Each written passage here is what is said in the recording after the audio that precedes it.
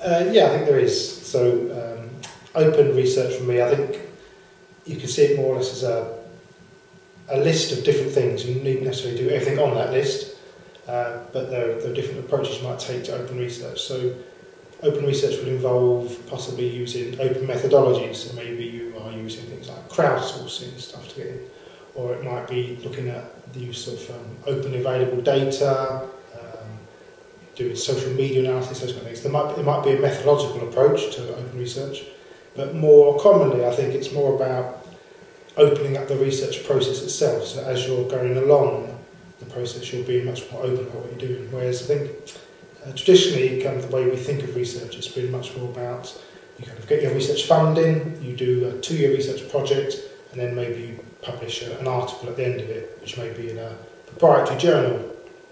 Whereas open research is much more about having all that process open way along. So maybe even before you've got your research grant, you're blogging ideas, you're tweeting ideas, getting input from other people, and as you're going along through your project, assuming it's a project, uh, you're doing things like blogging your results, putting things out there, you're sharing data, so open data is very important, so any data you get back as long as it's kind of okay to share and can be anonymised, those kind of things, and shared openly with other people.